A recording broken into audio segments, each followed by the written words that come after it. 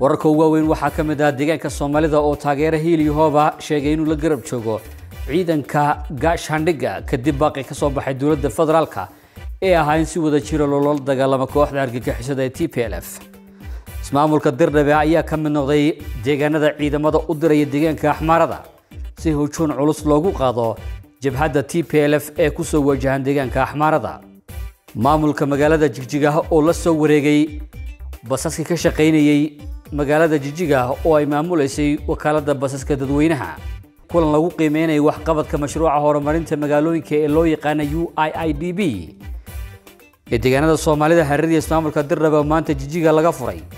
Iyo qiimeyntii waxqabadka gobollada deegaanka ah ee labiyo tobankii bilood ee la soo dhaafay oo maanta laga daahfuray magaaladana jigjiga.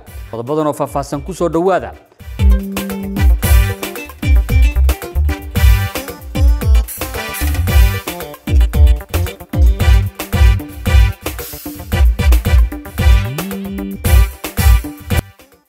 ka horse haddii aad nagu cusub tahay nagu soo biir channelka xasan ciiga subscribe dheh.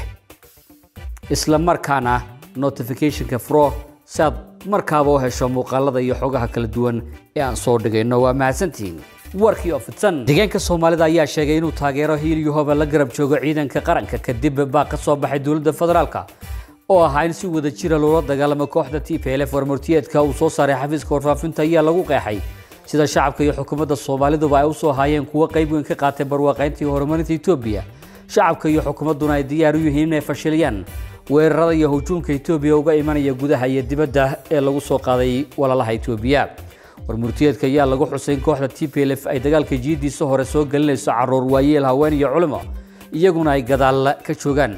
Xukuumadda deegaankuna ay aqbashay baaqa dowladda federaalka diyaarna u tahay inay taageero buuxda siiso ciidanka gaashaandhigga maadaama kooxda t p l f oo bartilmaameedkeedu yahay in la burburiyo etoobiyada waqti xaadirkan amaba la sameeyo maamul iyadoo ay gacanta ku hayso. Ismaamulka dirdhabe ayaa qayb ka noqonaya deegaanada dalka ee ciidamada u diraya deegaanka axmaarada si ay u wajahaan dagaalka ay t p l f ku soo wado deegaankaasi. Ciidanka dirdhabe inkastoo tirada ay diraysa aan la shaacinin ayaa waqti xaadirkan caaw ah waxaa la wadaa munaasabad lagu sogootinayo oo ay ka qayb galayaan maamulka dirdhabe odayaasha iyo weliba hay'adaha ammaanka. Kulan lagu qiimeynayo waxqabadka mashruuca horumarinta magaalooyinka ee magaciisa loo soo gaabiyey u i i d b deegaanada soomaalida hareerada iyo ismaamulka dirdhabe ayaa maanta jijiga ka furmay. Qiimeyntan oo diiradda lagu saarayo waxqabadka saddexdii sane ee la soo dhaafay ee barnaamijkan ayaa kulmiyey mas'uuliyiin uu ka mid yahay madaxweyne ku-xigeenka d d s mudane ibraahim cusmaan. Madaxweyne ku-xigeenka oo furay kulankan ayaa waxa sheegay in mashruucan ujeeddada ugu weyn ee laga leeyahay ay tahay in magaalooyinka uu horumariyo islamarkaana ay noqdaan magaalooyin cagaaran oo nadiifa wasiiru dowlaha wasaaradda horumarinta magaalooyinka ee dhismaha dalka ayaa waxa uu sheegay in mashruucan uu qayb weyn ka qaatay saddexdii sane la soo dhaafay dhismaha magaalooyinka. Deegaanka soomaalida ayaa waxaa la sheegay in afartan iyo laba kilomitir oo dhagaxa goglana uu ka hirgeliyey saddexdii sane ee la soo dhaafay iyo boqol iyo toddobaatan iyo saddex kilomitir oo waddooyinka jeega iyo toddobiyo toban hektar oo dhulka cagaarinta lagu sameeyey. Kulan lagu qiimeynaya waxqabadka labiyo tobankii bilood ee la soo dhaafay ee gobollada deegaanka ayaa ka furmay jigjiga. Madaxweyne ku-xigeenka dowlad deegaanka soomaalida mudane ibraahim cusmaan oo furay kulankan ayaa waxa uu sheegay in xoogga lagu saari doono warbixinta gobollada gooldolooyinka jira. Dhanka adeeg bixinta waxqabadka gaar ahaan adeegyada asaasiga iyo horumarinta kaabayaasha dhaqaalaha nabadgelyada iyo habka loo fuliyo mashaariicii degmooyinkan. Qiimeyntan ayaa waxay daba socotaa qiimeyntii xafiisyada heer deegaan ee dhowaan ka qabsantay magaalada jigjiga. Sidoo kale sagaashan iyo saddexda degmo iyo lixda maamul magaalo ayaa iyaguna gooni gooni isku soo qiimeeyey.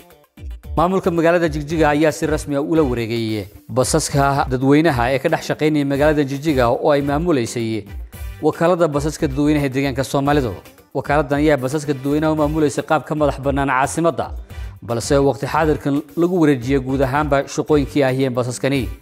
Guud ahaan siddeed iyo labaatan bas oo toban ka mid ay shaqeeyaan ayaa lagu wareejiyey wakaaladda halka inta kalena ay u baahan yihiin dayactiro warkii intaasuu nooga idil yahay asxaabay. Haddii aad nagu cusub tahay sabscribe dheh channelka xasan cige kommentiga talooyinka iyo weliba la wadaagidda asxaabtaadana ha hilmaamin